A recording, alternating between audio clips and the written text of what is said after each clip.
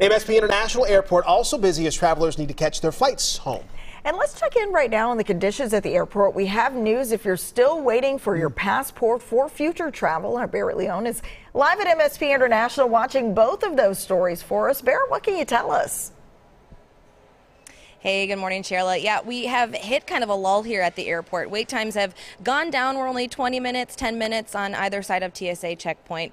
But uh, you're gonna earlier this morning, you would have wanted to give yourself plenty of time because those lines were were up a little bit. And another thing you're gonna want to give yourself plenty of time for is time to get your passport. The Department of State has expected to get more applications than it ever has before.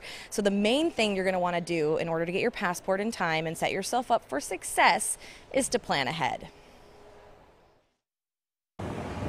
There's no line outside the Minneapolis Passport Agency. Quite awful, honestly. But getting in is tough. We expedited it thinking we'd get it maybe like end of June, middle of June and clearly still don't have it because we're here. The Department of State is expected to surpass a record of 22 million passports issued this year. We were getting over 500,000 applications per week, and that is simply um, extraordinary uh, in terms of what we've what we're used to right now. It could take 10 to 13 weeks to get your passport. And if you pay an extra $60 to expedite it, 7 to 9 weeks. Still, it's not a guarantee. We started the process in April and we're still going and I'm supposed to leave on Saturday. Your hope is diminishing at every second. I feel like should we cancel? I mean, Danielle Bresky has spent countless hours on hold with the National Passport Agency in hopes to snag any open appointment. I'm sorry, but at this time I don't have any appointments available across the nation.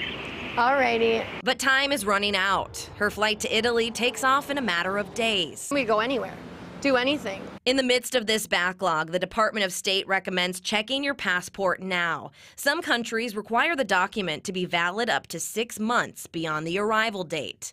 Avoid heartbreak and buy tickets after you get your passport. And if you're traveling within a year, renew now. We don't want to see missed trips. We don't like stressed travelers or applicants. We're trying our hardest to meet demand, but this demand is unprecedented.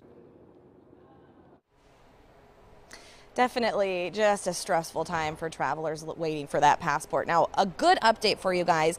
We did stay in touch with Danielle. She was able to get her passport. She got an appointment in Denver, drove down there, and is, I think, flying out today to Italy. So, good news for her. That's definitely good news for her. Uh, Beret, quick question for you. So, for parents, like if I'm taking my family with me, I'm taking kids with me, what are the gu guidelines for children? What, what do we know about that? Yeah, good question, AJ. So children under 16, 16 and under, their passport's only valid for five years. So if your child has had a passport in the past, uh, it might not be valid anymore. Adults, it's for 10 years. So just to uh, confirm that, make sure you look at your passport, see what that's where your child's passport stands, uh, and then you also will need to renew in person for a child, and that can oftentimes be done at a library or a government building. Adults, we can just mail it in. Children, you'll need to go in person to renew. That's important information. Thanks so much, Beret. Yeah, we appreciate it.